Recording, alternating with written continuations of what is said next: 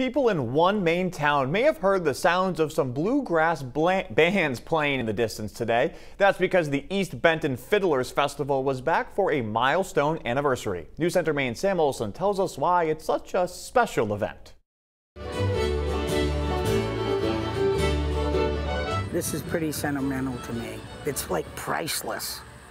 Each year has been a priceless year. Chuck Littlefield hasn't missed a festival since its beginning in 1972. The East Benton Fiddlers Festival has been a staple of the Littlefield family farm ever since. And in its 50th year, people are remembering the woman who started it all.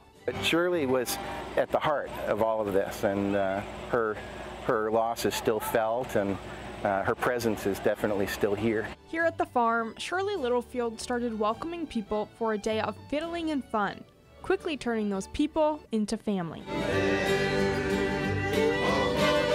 At just three years old, Tim Lawrence came to the first festival with his parents. After all these years, he says the festival reminds him of where he comes from. This is part of my upbringing and part of what uh, really has made me who I am. It's just been a huge part of my life and it all started here for me festival showcasing anyone who's willing to take the stage, even seasoned musicians showing the younger generations how it's done. Doug Protzik is someone who's been part of the festival since its start. It's kind of an iconic uh, experience for me over the many, many years. Years of fiddling that may not have progressed without Shirley's support. Support that has led some of these bluegrass musicians to teach, passing along Maine's traditional music. It just keeps blossoming out more and more, and, and it's kind of a, a musical family.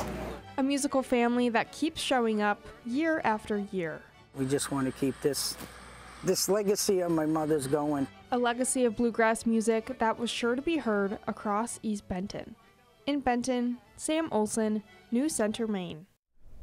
The festival started with less than 100 people in attendance back 50 years ago, and that number has grown tremendously throughout the past few decades.